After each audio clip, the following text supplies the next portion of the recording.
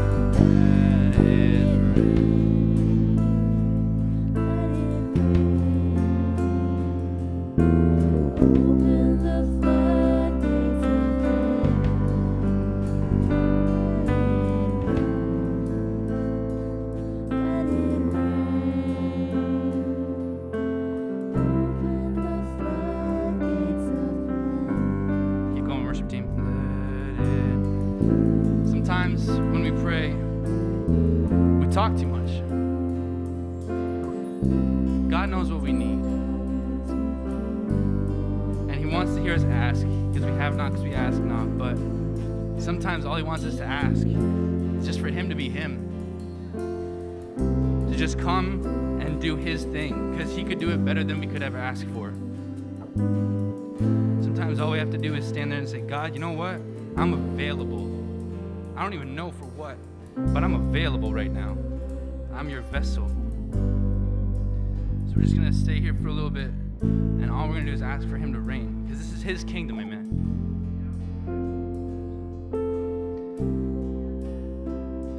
It's His kingdom, let's put Him in the place on the throne right now with our praise. Let it rain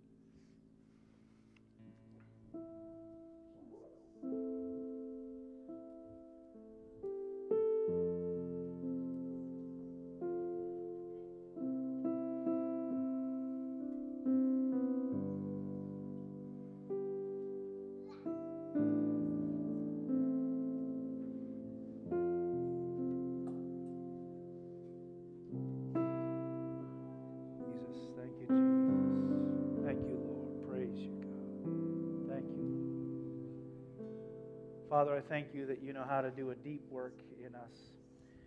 Romans 8 talks about our spirits groaning in the Spirit of God, knowing where to come and meet us. That we can ask you to just let it rain. Pour out your Spirit on us, Lord. You fix the things we don't even know are broken. You heal places where we, we recognize there's there's a deeper work. There's more to be done. And sometimes there's not more to be said, but just like we prayed, God, you, you work where you know you need to work. You restore what, what's been broken. You, Lord, I pray you may have to dig up some wells that have been filled in because you've got to get down to where the offense happened, where the crisis took place, where the pain hit. But you want to get right down to those places and do that deep work, Lord. Help us in worship as we allow your presence to sweep over us to get to that place where we're just inviting you to do more in us, more, more in us, deeper in us. Things that our subconscious or our, the thoughts in the front of our mind we've forgotten about, but we've just lived on default with, with the pain, with the struggle, with the whatever, God. And we just open ourselves this morning and allow you to do your work, Lord. Let the Holy Spirit rain down on us, Lord as your promises that you will pour out your spirit in the last days, we're in them. And you're, you're available today, God. So we thank you for every work you're, you're doing, every work you're about to do. And we give you all the praise and glory. And all God's people said, Amen. Amen. Thank you. You may be seated.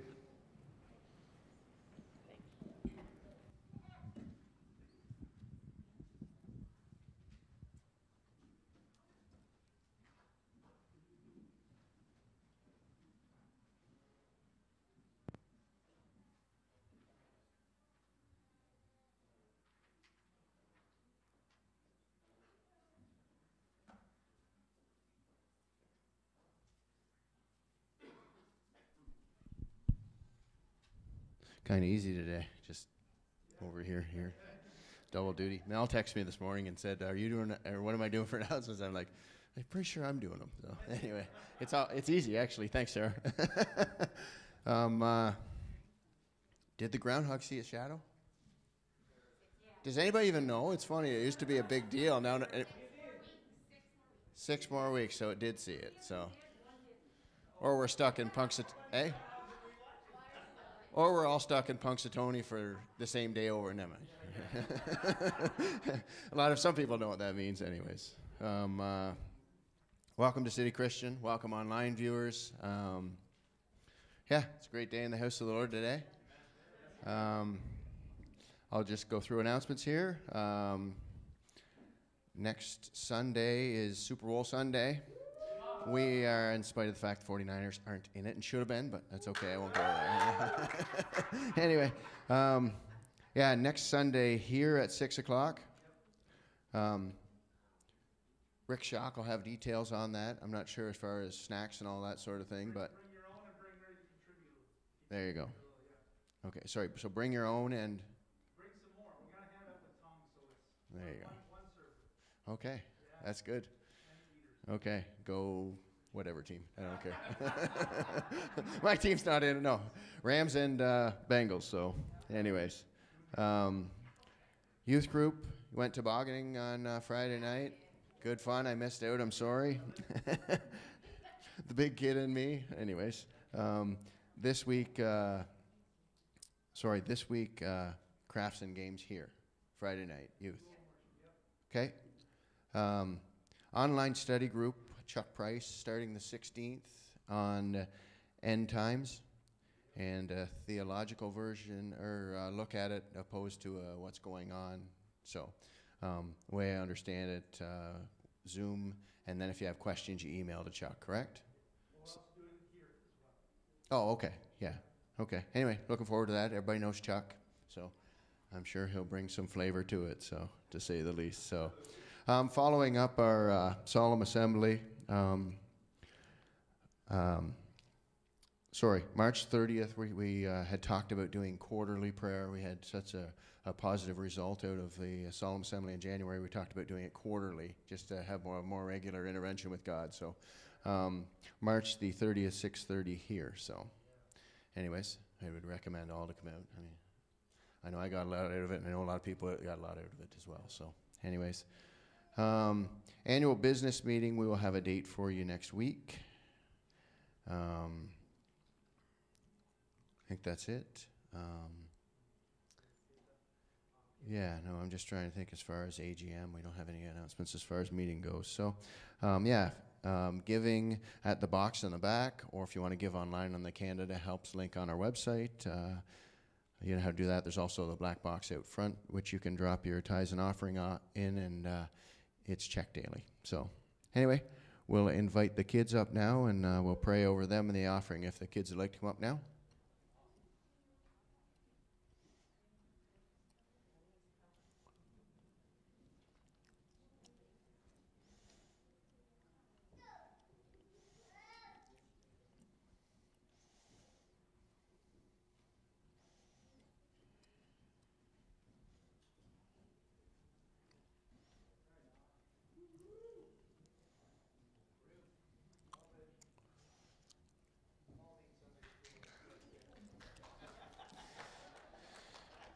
Youth in church, isn't it great? Sunday service, yes. Oh, yes. We've been waiting for a long time, so, anyways, I can remember having two or one, or, anyways, it's nice to see youth in, in church. Heavenly Father, we thank you for our youth, Lord. We thank you that, uh, that uh, they're in your hands and not ours, Lord. And uh, we pray that uh, as our teachers go down, that uh, you would have word for them, and uh, it is your word that sticks with, with them, and it's eternal with them, Lord. We just pray into uh, the offering of this church. We pray that uh, it's a blessing to you, and we do it with a cheerful heart and, a, and an honor to do. So we just pray onto our children, we pray onto the congregation, we pray onto the church. We just ask all this in your name. Amen.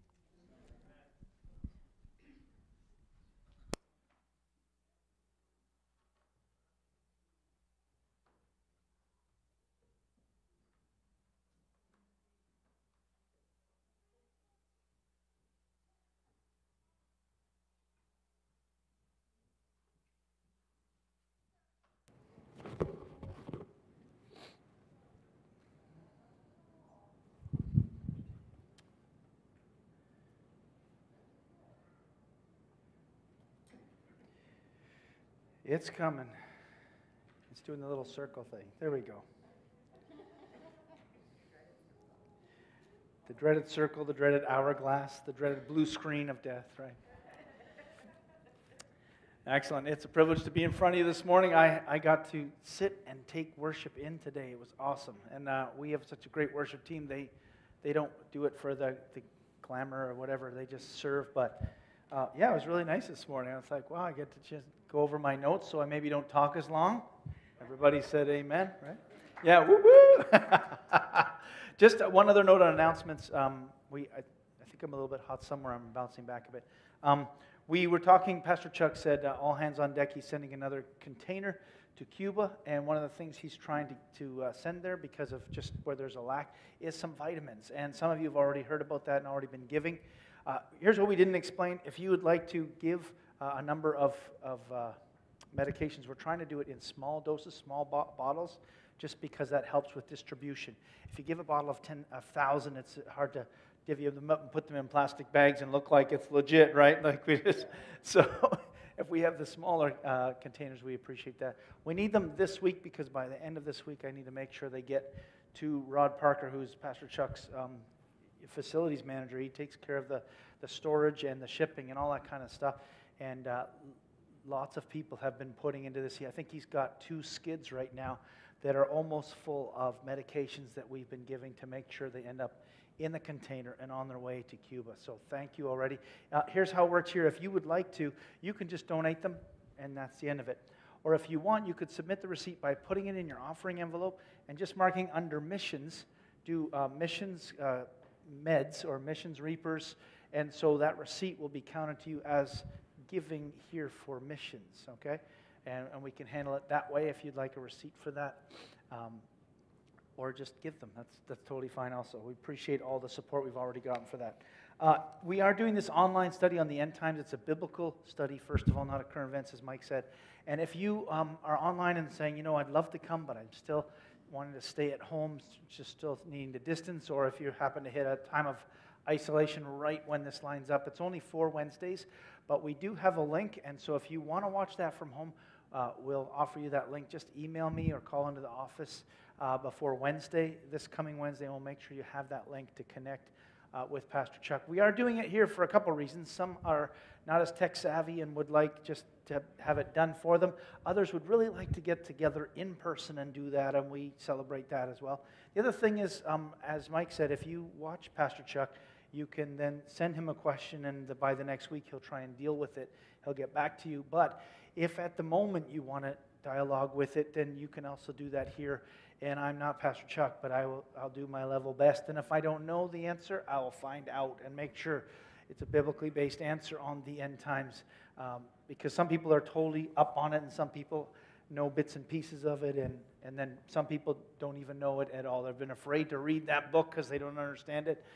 I'm probably more to the middle, to the front end of that, hopefully, I'd like to think. So we will have conversation about that following those messages right here live as well. So you can uh, do that if you'd like. We'll still be distanced and all that, but it'll be on the big screen, uh, as will um, the game of teams whom we don't know and don't care. No, there will be food here, but we're going to do the distribution, men, and uh, it'll be a great time. I'm going to be here regardless of whoever else.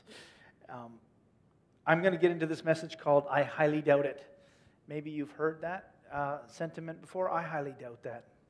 I think more and more today than any other time, you hear things, you see things, and your first response is, I highly doubt it. Like, I'm not sure we're getting the whole story, or we're getting the story, and it's like, I caught a fish. How big? Well, it was about this big. And then you go tell it again. I caught a fish, and literally, it was about this big. You should have seen this fish. It was big.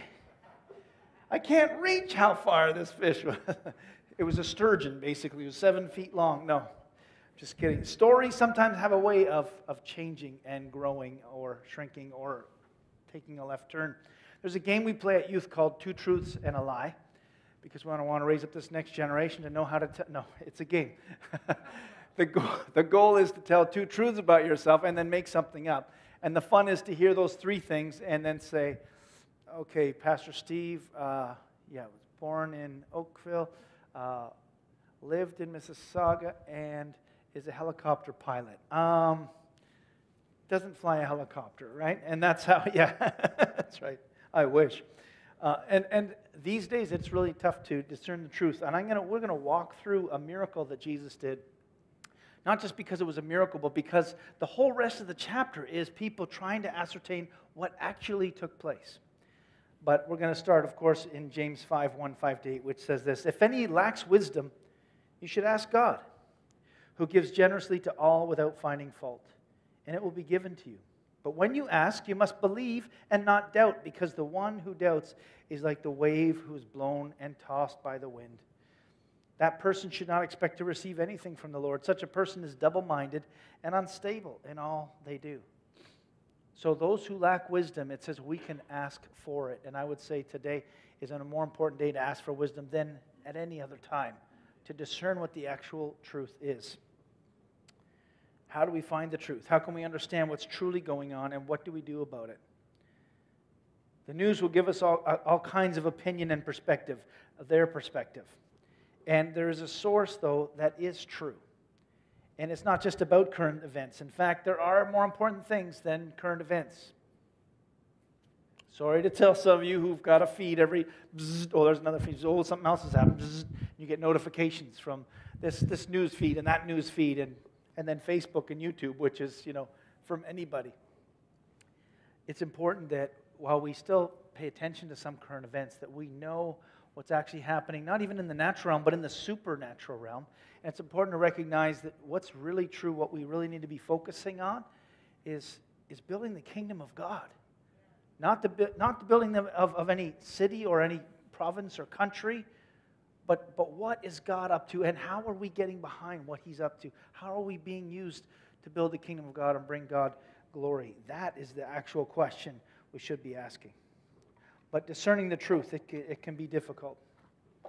Just making sure this mic doesn't jump out at me later on. The Word of God is our truth, right? All right, that was pretty good. I almost got whole group involvement. The Word of God is our truth, amen? amen? We don't need to question that.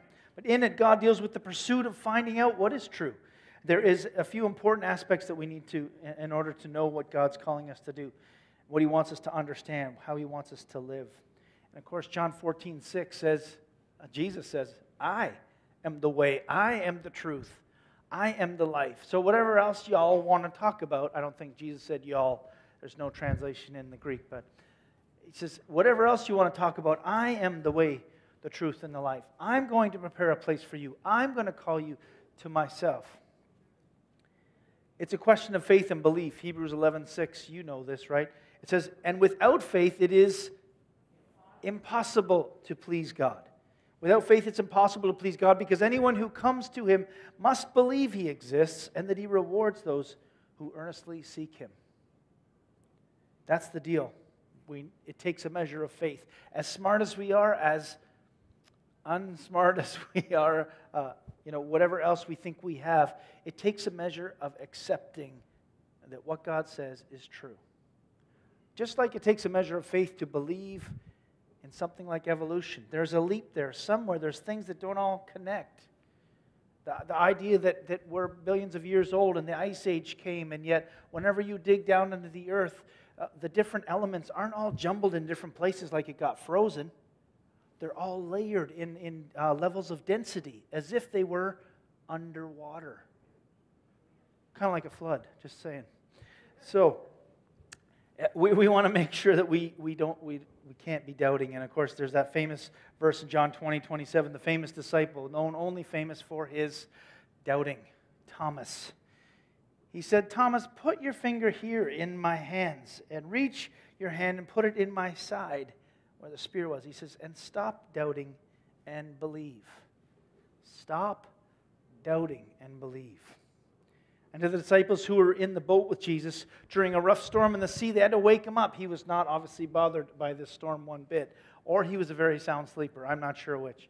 Matthew 8, 25, it's like me after a sermon Sunday morning. I watch football for half of it and then I'm gone. It doesn't matter what the score is. They'd have to wake me up and say, Pastor, pray for this game. Obviously, I didn't pray hard enough. My team isn't there either. he's in the storm in the boat and it's rocking. And these, most of these disciples, right, they're professional fishermen, so they get the sea, but they're bothered, right? The disciples woke him up saying, Lord, save us, we're going to drown. He replied, Okay, guys, I'll help you take care of this. Just, you know, don't worry about it. no, he goes, You of little faith. Now, maybe he hadn't had his coffee. Maybe he was irritated by being woken up from his nap. His first thing out of his mouth is, Well, you guys have no faith. Oh, good morning to you, too. it's interesting his response. "Uh, Lord, save us. We're about to drown. He says, Oh, you of little faith. Why are you so afraid?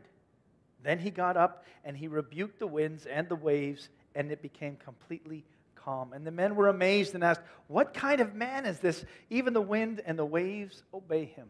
I love it. So we stop doubting. We also stop fearing. It says, Don't be afraid. No matter what current events say, the Bible says, Don't be afraid, even in the midst of the storm. He delivers them, and then he seems upset or disappointed by them. And here's, I think, why because they missed an opportunity to exercise their faith, their authority.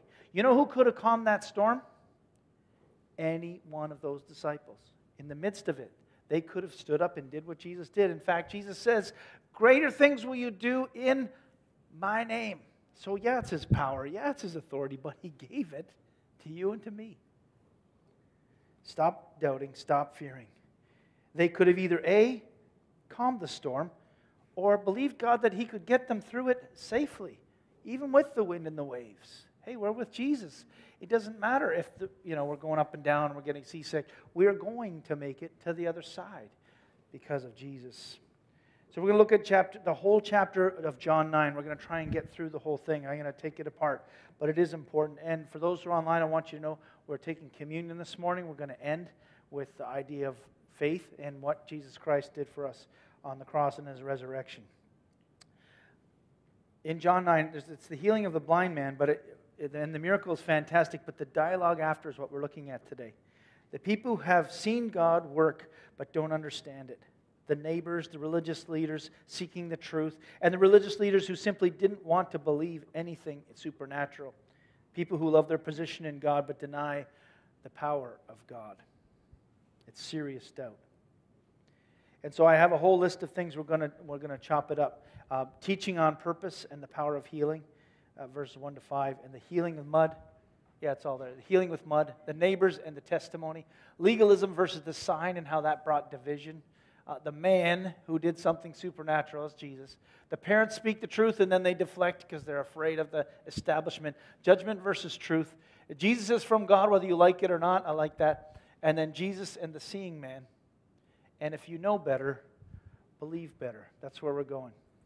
So, everyone, buckle up. I'm going to read chapter John, uh, John chapter 9. And, I, and then we're going to talk a little bit about it, okay? It's a big portion of scripture. I don't normally do this, but the whole thing kind of struck me about right where we at right now, trying to figure out what is true and what isn't. And this whole uh, journey they've been on to ascertain what's going on. And some of them were never really interested in the truth at all. It's quite sad. And others finally recognize listen, God's done something here. Stop trying to plow it over and ignore the fact that it happened. So it says, as he went along, he saw a man, this is Jesus, saw a man blind from birth. And his disciples asked him, Rabbi, who sinned, this man or his parents, that he was born blind? Neither this man nor his parents sinned, said Jesus, but this happened the, so that the works of God might be displayed in him. As long as it is day, we must do the works for him who sent me. Night is coming when no one can work. While I am in the world, I am the light of the world. And later he calls us and says, You are the light of the world, right? Verse 6 is after saying this, he spit on the ground and made a little bit of mud with saliva, and he put it on the man's eyes. Counterintuitive, I think, for clear vision, but that's what he does. He says, Go, he told him, wash in the pool of Siloam, which means sent. And so the man went and washed, and he came home seeing. And his neighbors and those who had formerly seen him begging said, Isn't this the man who used to sit and beg? Some claimed he was, others said, No, he only looks like him. But he himself insisted, I am that man. How were your eyes open? They asked. He replied, The man they called Jesus made some mud and put it on my eyes. He told me to go to Siloam and wash. So I went and washed, and then I could see. It's that simple. Man, mud, wash, sight. Crazy. The- Then they turned again to the blind man and said, What have you to say about him? It was your eyes he opened. The man replied, He's a prophet. Oh, sorry. Some Pharisees said, This man is not from God, for he does not keep the Sabbath. Then others said, um, How can a sinner perform such signs? So they were divided. Then they turned to the blind man and said, What have you to say about him? It was your eyes he opened. The man replied, He is a prophet. He didn't even understand that Jesus was the Messiah yet. He just knew that this man was used to help him gain his sight. They still did not believe. I hate that verse, but I love it at the same time. You recognize people who don't have the Holy Spirit bring illumination or revelation will not see the truth that's literally staring them in the face. No pun intended. The man couldn't see, now he could see, and they were like, yeah, nope, nah, nope, no, I don't, no way. Still fighting it. Verse 18, sorry, they still did not believe that he had been blind and had received his sight until they sent for the man's parents. Ask mom. Whenever you're in doubt, go ask mom. Is this your son? They asked. Is this the one you say was born blind? How is it that now he can see? Like it's their fault, right? On the hot seat. Verse 20. We know he's your we know he's our son, the parents answered, and we know he was born blind. But how he can see now or who opened his eyes, we do not know. Ask him, he is of age, he will speak for himself. His parents said this because they were afraid of the Jewish leaders who had already had decided that anyone who acknowledged that Jesus was the, the Messiah would be put out of the synagogue. They understood the climate of the day. You talk about this Jesus like he's some kind of deity, like he's got some kind of God power. We're not going to be happy. So, what's your answer again? And the parents kind of chickened out a little bit. Well, he was blind and now he could see. I, I don't know who did it. I claim the fifth. You know, go talk to someone else about it.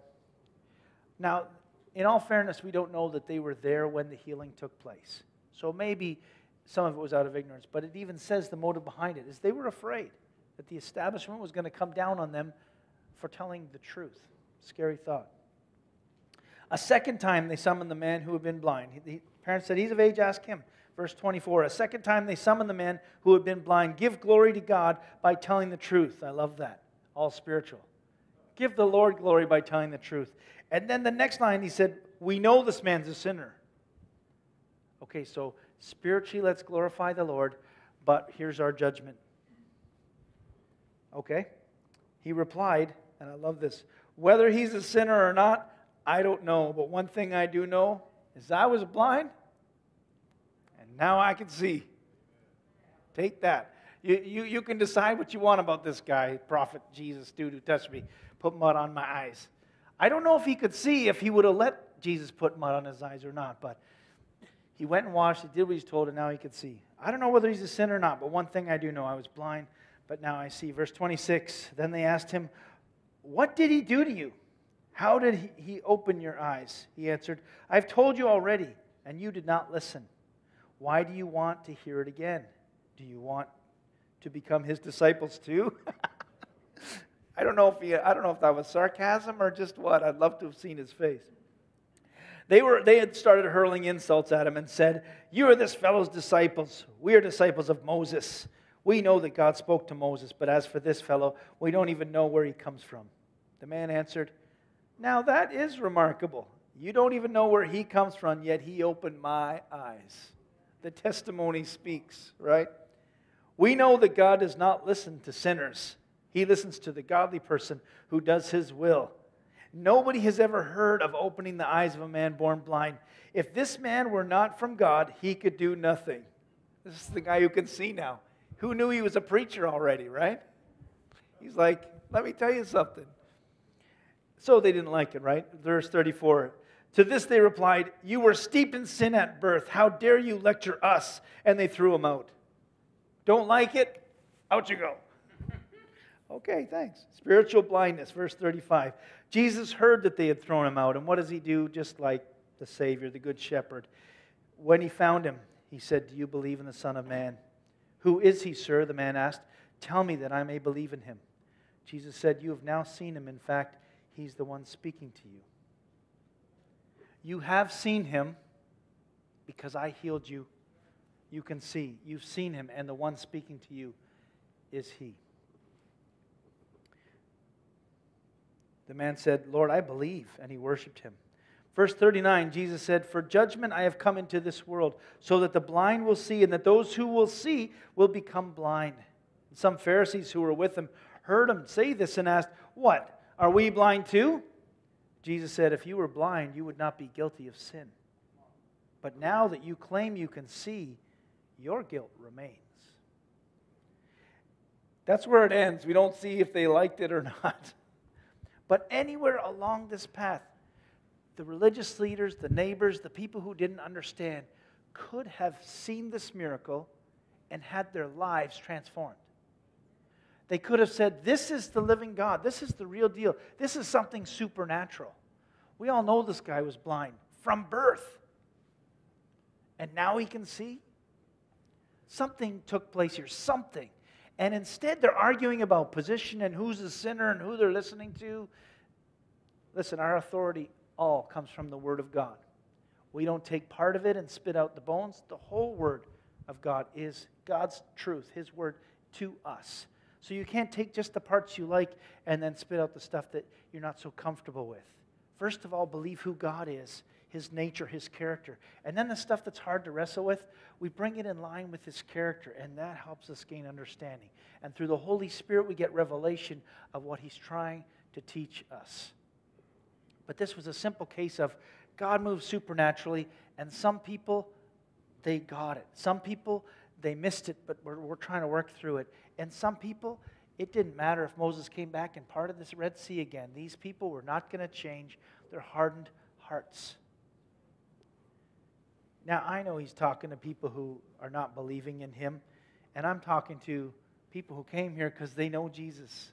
You know Jesus on some level, or you know someone who does and they drug you to church. I don't know. You know, you are here today or you're watching today because Jesus Christ has made a difference to almost 2,000 years ago. Died on the. I, you know what? I got used to saying almost 2,000 years ago. It's now 2022, so just over 2,000 years ago. We got, I got to get that right. Jesus died on the cross for all of our sins, and then three days later rose from the dead. We're getting ready to celebrate Easter, and by the way, there are discussions about what that will look like.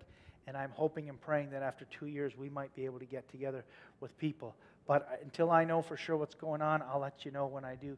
I just know people are getting excited about worshiping on a broader context, and we pray that that, that will be something we have the opportunity to step into very soon. So let, us go back to that list I said uh, because it's important. Verse 1 to 5, we see this, this doctrine of healing, and, and also we see this doctrine of, of brokenness, okay? Because when sin entered the world, we, we had a sin nature, but we also were broken. We weren't going to live forever. We were going to have issues with our bodies sometimes. And the first thing the disciples do is they spiritualize this man's blindness. Oh, oh, did he do something bad? Is that why he's broken? Well, that could be, but it also could be we live in a broken world where there, we have a sin nature, where our bodies are not perfect. And so there are some times where we deal with infirmities and things that we have to deal with. It's not because we're holy or unholy people. It's because my body doesn't want to do what I want my body to do all the time. And yes, we can pray to God for healing. But the, what they were suggesting was the same thing Job's friends suggested that, that because of his actions, there was judgment, and his infirmity was that judgment. And Jesus saying, No. He had to deal his whole life with blindness, but it was for this very moment where I, the Son of Man could be glorified, I can prove that not only Jesus is the Messiah, that supernatural things can happen, that God has power over our physical and mental, emotional, our souls, and our spirits. He has authority over all of it. And so, in that first five verses, it's God's glory and God's light that he explains. And then, verse 6 and 7, the healing with mud, man's trust in God's healing. He has to be made whole. And I would never go to a doctor, an eye doctor, and try and find out what my prescription was and let that guy put mud in my eyes, let alone from his own spit. I mean, especially after COVID, right? Now, you want to purify that spit first somehow, you know, put some hand sanitizer on the spit, then make mud. I, and then here, and then put it in your eye. I don't like hand sanitizer or mud in my eye. Like I, and, and now, We don't know if his eyes were closed or open, whatever. He put mud on it and said, Now go wash this out. And when you wash it out, you're going to be able to see. I don't know any medical doctor that would have written that prescription, right? Take this to shoppers. They've got some mud there for you, little capsules of mud. It would seem like a really strange idea. I think the, the reason God sometimes asks you to do strange things, whether it's in worship, you know, raise one hand, okay, raise them both now. Now wave them in the air now, or, or dance. And why? Why do I have to do that? Well, you don't have to, but maybe God's asking you to step out like David did, and where he danced before the Lord, and he said, I'll become even more undignified than this. I will approach someone and say, I'm praying for you. I'll approach someone and ask if they're okay and, and ask if I could pray for them or uh, I could share Jesus with them. I will step outside of my comfort zone. Why? Because sometimes God is leading us there. Would I let put, someone put mud in my eyes? I don't know. I don't think so. But at that moment, he must have known something. With a little bit of faith, with a little bit of trust, I'm going to step outside of what I think is normal and do what I think God is leading me to do. And in stepping out like that, in faith, not doubting, but in faith. Jesus, I came to the right person. Whatever you tell me to do. You want to make mud and pack it all over my face? You know, give me a facial? Fine, I'm good with that. You want me to go wash in this water? I'll go do it. And he does it. His faith and God's healing. It was a beautiful thing. If that man didn't have faith, this would have been a really short chapter. He, he's blind. He asks for help. Jesus comes to him, puts mud on his eyes. It doesn't work. He doesn't have the faith. He doesn't get healed. The chapter ends there. We move on with the rest of the story of Jesus, but his faith and God's power. What a powerful combination. And he's healed. And so the neighbors get into it, and you know what? Doubters are going to doubt. They're torn with the facts. This guy who didn't change his appearance from sitting at, you know, begging to standing in front of them and coming to the synagogue, same guy, same haircut, same outfit, right? Same sandals. Oh, you've got the Nikes. It's the same guy, right? Nike sandals. No, he, he didn't change his appearance at all, except that he could now see through his eyes. So there's nothing in his appearance to make him look strange. And they're all like, I'm not sure if you're that guy. Same beard, same hair, say whatever, same color of eyes, maybe, unless they were opaque and then they were clear. Same voice, same sense of humor, same personality. He went home to the same address that night. Mom and dad let him in. And yet they're questioning who is this guy really? You're his doppelganger, right? You're his twin. You just look like him. People try so hard not to believe in the supernatural. They want it to be the last thing that they embrace. And I believe it's because, well, in North America, it's because we're, we're too scientific method. You've heard me talk about that, right? Whatever the five senses tell me, that's reality. Whatever science tells me, the scientific method, if I can put it through a bunch of tests, then I can determine it. Well, you can't always know the way of the Lord. You can't always see supernatural things. You can't see the Spirit of God, but you can see the effects of the Spirit of God. That's why when we talk about His presence, we talk about His manifest presence, because God is already here right now in you, in me, in this place. But when He manifests, when we see people break out in tears or laughter, when we see people run to the altar and fall on their knees, when we see people get healed, we don't go, Yeah, I don't know about that. We go, Thank you, God, that you're manifesting your presence. It- we accept that in faith, that you've just done something profound. And instead of doubting it and having a debate and argument about it, we should be having a hallelujah celebration because God's done something. You know, at our solemn assembly, sometimes the very next day after we prayed for something, God already broke through and did something. I've heard about physical healings. I've, I've heard about people, uh, you know, fighting with, with um, establishment, getting from one wrong place to a good place, from a prison to a care facility. Like, God just did some really cool things where He stepped already up and answered some of the prayers we've already prayed. That's why we're coming back to it every quarter. And if that works, we'll do it a quarter of the quarters. We'll do it every 16th note. Sorry, I'm a musician. We'll do it as often as, as we can. We'll pray for revival and see what God can do.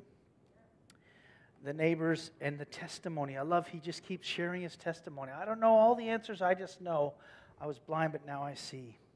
And then verse 13 to 16, the Pharisees, the Sadducees go, Well, we've never seen this in church before. Can't be good. God didn't do it through us. Can't be good. It didn't happen in my order of service. I had an order of service and healing was not on there. Can't be good. In fact, when we pray here before church sometimes, we pray for God. Here's our order of service, Lord. Take it. It's yours. And if you want to wreck it, if you want to do something, be free to do what you want to do in it, right? And we believe that God can do that. So th- there's, there's legalism. There's these guys saying, well, uh, you know, I don't believe that this guy is, we, we don't know that he's heard from God. We believe in Moses, but we don't believe this guy. And there's division. After a miracle, there's division instead of celebration. Healing, not on the order of worship. Oh, yeah, I already mentioned that. I want God to move with us or in spite of us. No matter what, I want God to move, period. And you can agree with me on that, right? God, shake us up, wake us up. If we're doing things because we're too stuck in a rut, Holy Spirit, just give us a little gentle little tap on the head. The man did something supernatural. Verse 17. The, the man who's healed, he says, uh, I think this guy might be a prophet. I don't know. Like, I've never seen him before. I just know his name is Jesus. And I was blind, but now I can see. And someone who's in touch with supernatural power, he's like, I don't know how else this could have happened. And then they go to the parents who kind of chicken out, but they said, Yeah, he's our son. Yeah, he was blind. And yes, now he can see. Now you go look for how it happened because we're not going to venture, we're not stepping into that one. We're not are debating this thing. It's going to become an argument about your position and, and our belief in what actually happened there, and we're not getting into it. And then the, the judgment versus the truth. And you heard me, he got all spirit. They said, spiritually, you know, glorify the Lord, tell the truth, the truth that we want you to say. and we know this man's a sinner. Oh, did you want me to share or did you want to tell me what to share and then I can share it for you, right? And he says, No, no, that's not it. He's like, You can decide whether this man's a sinner or not. You're in that lofty position or spiritually or whatever. You want to be a judge, that's fine. All I know is I was blind and now I see. When the supernatural happens, we know that God is at work. Amen? And we want God to be at work. And I never want us to be in judgment. You can say, well, how can God use someone like that? Well, first of all, it was Jesus. But how could God use that, that blind guy who just sat there his whole life? All of a sudden, he's the center of a healing ministry. all of a sudden, he's got everyone's attention. He never did anything to deserve that, but God called him to be that person to testify in that moment that something real was taking place. He had a ministry in a day. He didn't do four years of Bible college or his master's of divinity. He just was his encountered a move of the Holy Spirit and then was testifying about it. And we need to do that too, whether we think it's a big deal or a small deal. Being blind since birth, I think that's a big deal. But whether you think your miracle is big or small, don't even worry about it. Just always give glory to God. Always. No matter what it was. I had a great day today. Glory to God. Well, that's no big deal. I've had a good day before. Well, did you glorify God for it? Because you had an opportunity. You had an opportunity. If you have an opportunity, bring glory to God. Every good and perfect gift comes from the Father of lights. Let's give him the glory. Jesus is from God, whether you like it or not. See, the guy has been testifying for so long, and, and the doubters are going to doubt, the haters are going to hate. Finally, he says, Listen, you, and he starts preaching at him. You saw when I read right? You, you say that the only, pe- only people who hear from God can do these things, and yet you guys have never healed anyone from blindness. And this guy did. So you tell me what's going on. And of course, instead of actually at that moment going, oh, you know what? You're right. I could, I could understand something here. I could make a shift in my mind. Maybe something's going on beyond me. Maybe we can get out of our own heads, our own image of way we think the world should be, and believe that something outside of that could take place. And, church, I want every one of us to have that kind of faith. I think I understand the way things are in my world. I think you understand. Been on this planet a few decades. I won't say how many for each of us. No, no embarrassment. You have some experience. You've been through some stuff. And yet I pray every day from when I'm 9 to when I'm 99. I only plan on being around until I'm 88. But should the Lord tarry, I want to always be ready to accept a move of God. If there's something that's going on outside of myself, I want to see that and say, you know what? If it's God, I want it. I, I was in ministering in a conservative evangelical church some years back, And uh, the pastor's son was, was, did worship with me, and we had a great time ministering to the young adults ministry there in, in Toronto. And uh, I was Pentecostal, and, and so some people were all like, okay, we're you're at this conservative church, but you're one of those. so thanks for coming, but we're just going to take you with a grain of salt there. You know, you, just, you might go, woo, on me all of a sudden, so you just stay over there, right? But no, we had a genuine relationship, and this guy was a, a young man who was, knew the Bible, and he was a man of prayer, unbelievable. And so I talked to him about encountering God in worship and his manifest presence that I'm sharing this morning. And, and he, he's like, I, I don't know, I haven't been raised in that. I don't know about all that. And he said something I'll never forget, and this was probably 20 years ago. He said, All I know is if it's from God, I want it. If it's from God, I want it. If there's healing, God, I want it. If there's new life, if there's some kind of supernatural thing, even if it looks weird in the natural, but all of a sudden you feel the peace and power of God sweep over you, I want it. I want that. I've been saved since I was nine, and then I rededicated my life when I was 17, and I pray that God will continue to reveal Himself. Hello, sister. Yes. I have something to show. Can you hold on one second? Because the people online want to hear. And then I'll finish my five more points. No, Two kidding. years ago, I couldn't raise my hand this high. So I'd come up here and worship with this. We had a week of prayer and fasting here. Here I am. That's right. That's right. God is still in the healing business. That's right. And I am a witness to this because my daughter's here. She'll testify different ones. That when I put my coat on, this arm went in first because I couldn't raise it. So give God the glory. Right on. And this, if this blind man can see, and I can raise This woman can praise. God be the glory. Thank you, You're Pastor. welcome. Amen. Amen. As you can appreciate, the scripture from John chapter 9 happened a while ago, 2,000 years ago, right?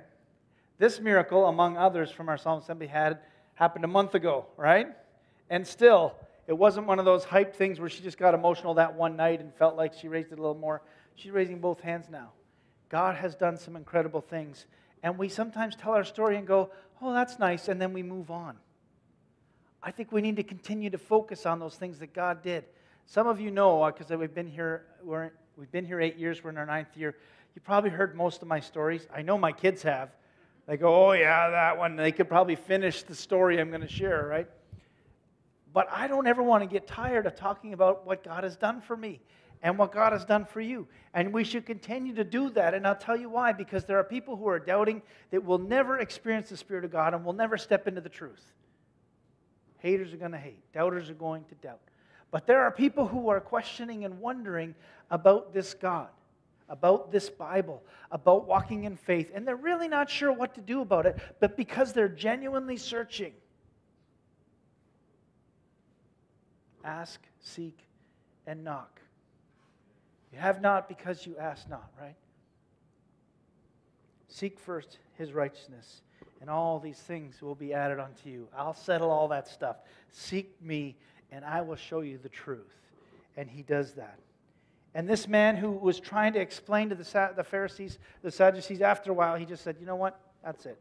He said, I couldn't see, now I can see. This, is, this guy has, has been in connection with God. This Jesus, there's something about him. They said, That's it, get out. So he left, and the first thing Jesus does was he goes right to him and says, Hey, sorry about those turkeys. they don't speak for me. How'd you like to meet the Messiah? By the way, you're talking to him.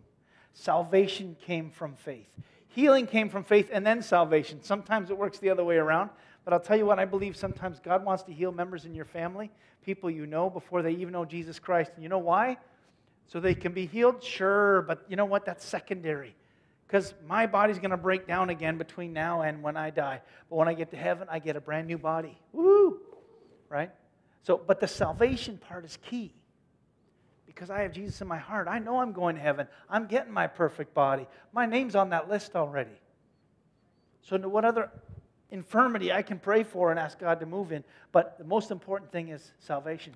So, God might be trying to reach out to some of your family members, some of your neighbors, and you might pray for them, and God could deliver a healing to them. I'll tell you what, it won't only change their physical body, it could change their eternity. Right? Instead of arguing about, oh, was that God? Was it 50% God? Did the doctors help? Did the medication help? You know what? God does practical things with doctors and medicine and surgeries, and there is nothing wrong with that. You're not a lack of faith because you let a doctor help you. But where do you put your trust in? Where is your faith? My faith is in God who brought me a doctor. When we moved here, we got a doctor right away. She's awesome. She tells me I should get tests. I don't even want to get tests for her, but she's very thorough. She's very, she cares for me. She's looking out for my well being. Praise God for that. But also, whose report are you going to believe when the doctor says, oh, you know what? We've found this, we found that, we think you might be dealing with this? I said, thank you for science. Now I'm going to my knees and I'm asking God to move. And I want something supernatural to take place, whether it's the right prescription or, and suddenly Holy Spirit goes, get up and walk. Go wash in this pool, and your blindness will be gone. You will be able to see again. He does that with, with this man. He, he's, salvation comes. And then the last part, verse 30, 39 to, to 41. What? I, got, I typed that in wrong. Must. Oh, here it is. I just didn't swipe down long enough. That's all. Jesus said, For judgment, this is about uh, the people who believe and the people who don't believe. And I'm almost finished here. For some fear, um, he said, For judgment I've come into this world so that the blind will see, and those who will see will become blind. It, almost sounds mean. People who can see, you're not going to let them see? No. No, their hearts are hard. And so, no matter what I do, I can heal the guy that's been going to their church as long as they can remember who couldn't see. And I could heal him and make him see. And some of these people are still not going to get it. Just don't let it be anyone in here. Don't let it be anyone watching today. Believe that God can do what he says he will do. And keep believing. Have faith. Hold on. And the Pharisee says, What? Am I blind too? Jesus said, If you were blind, you'd be, you would not be guilty of sin. But now that you claim you can see, your guilt remains. Here's the beautiful thing about Jesus these guys are hard, but they're still there. They're still in the conversation. At the very end, they're still saying, What? Am I blind? And Jesus says, Listen, you, you say you can see, but you still missed it. Even in that moment, Holy Spirit could give them that revelation. Wow, you know what? This guy's right. I've been missing it.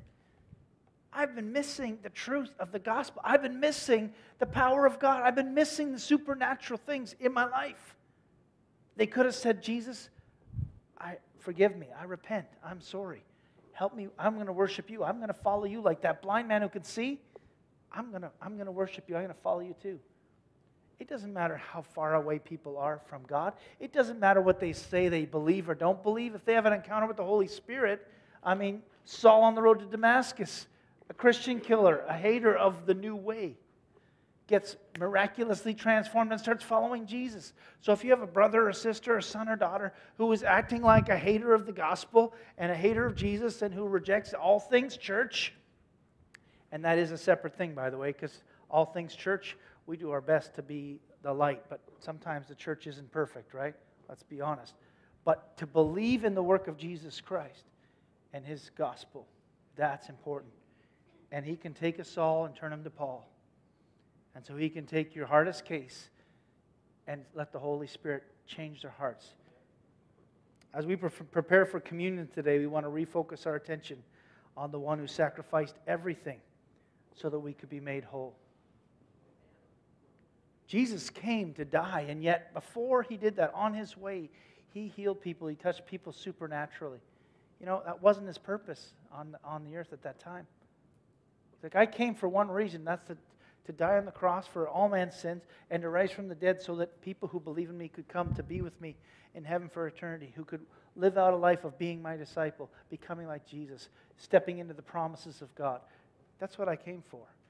But, oh, here I am bumping into this guy who is blind. And along the way of my purpose of going to the cross, I'm going to teach, I'm going to heal, I'm going to share the, the truth about what being in God really is and how to be in Christ.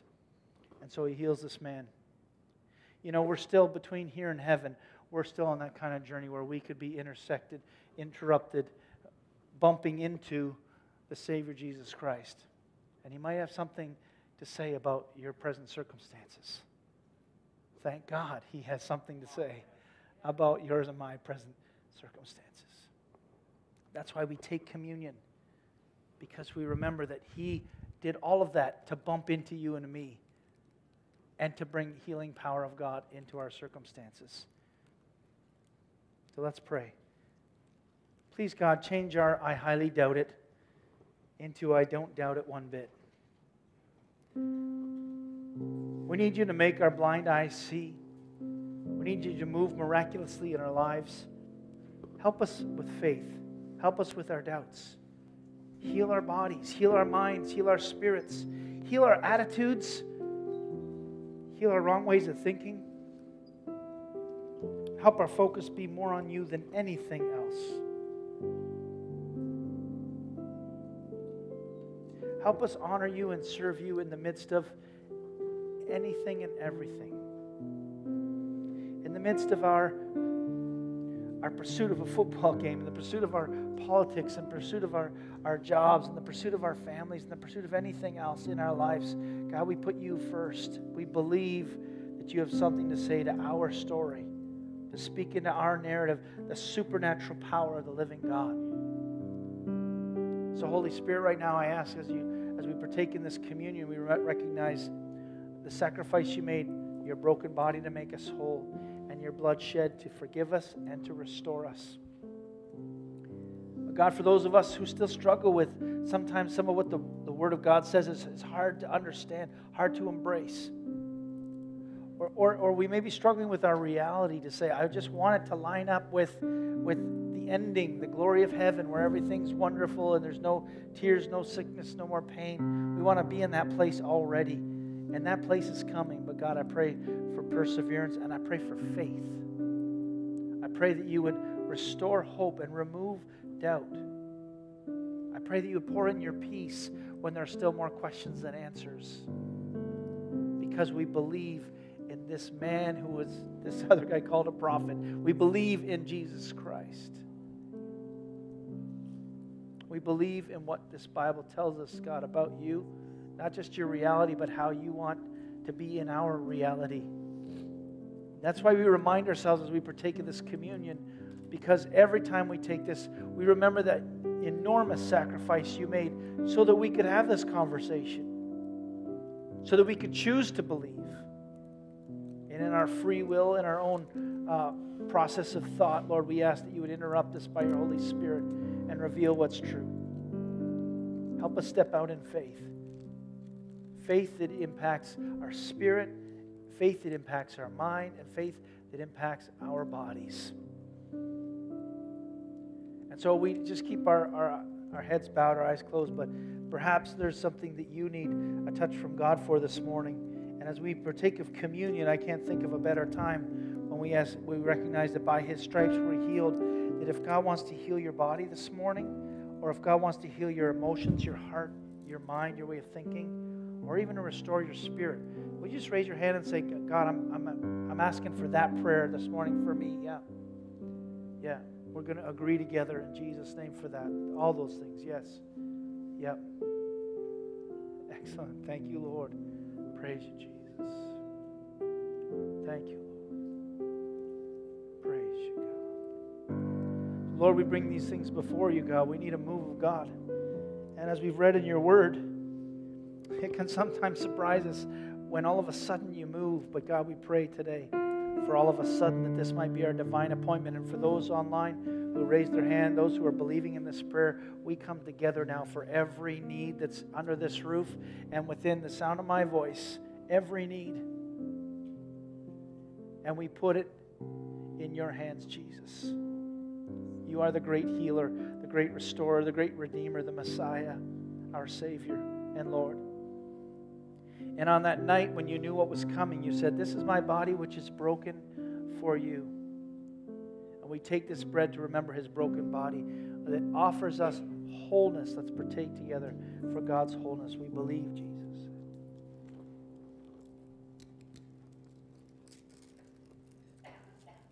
Thank you, Jesus. Thank you. Thank you, Lord. Thank you, God. Lord, do that healing work, Lord. May be a testimony that we have that we can share with believers and unbelievers. That you would restore us fully, Lord God, for your glory.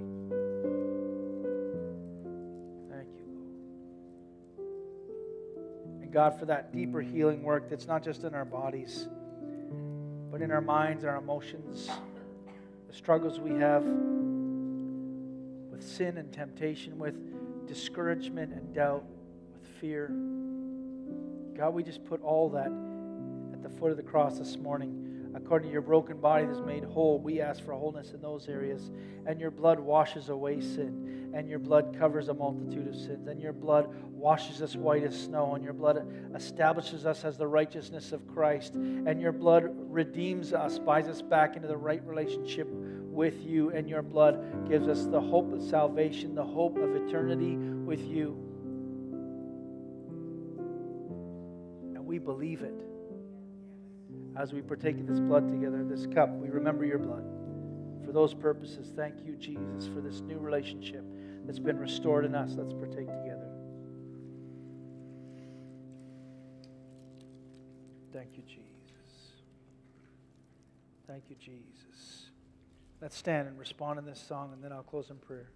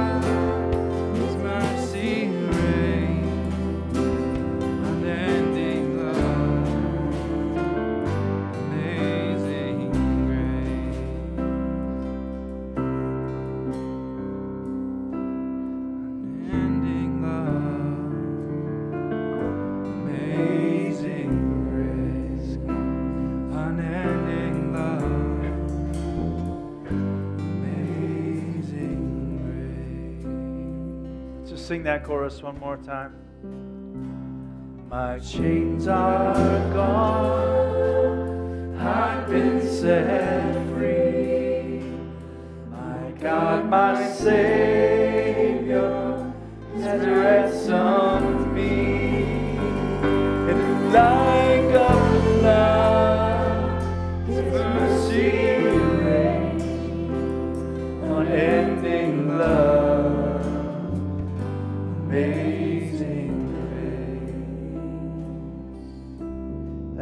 Jesus. Hallelujah. Hallelujah. Thank you, Jesus. We worship you, Lord. Thank you, Lord. God, I pray for our miracle, my miracle. I mean, we have the miracle of life. We thank you for it. Many of us have the miracle of salvation, and we thank you for it. But I know, God, you're still in the miracle business, and there are people in this room who need a miracle, and we, we raised our hands. We asked for those. God, I pray that he who began a good work is faithful to complete it, and that miracle is already percolating in the spirits and lives of people who have dared to say, Yes, God, I need you to move in my life. God, we just seal that together with all of our faith, with all of the power of Jesus' name, according to your word, that you're doing supernatural work, Lord God, in, in relationships right now. You're doing supernatural relation, uh, work in people's hearts, in people's eyes, in people's organs, God.